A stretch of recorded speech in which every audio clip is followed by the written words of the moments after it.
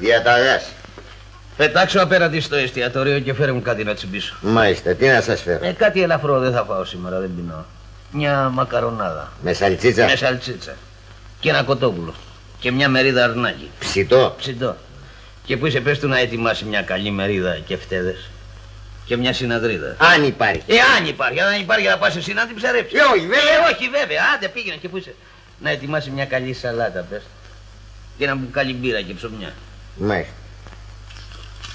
Μόνο αυτά. Ε, σου είπα θα τσιμπήσω σήμερα. Δεν θα φάω, δεν έχω όρεξη.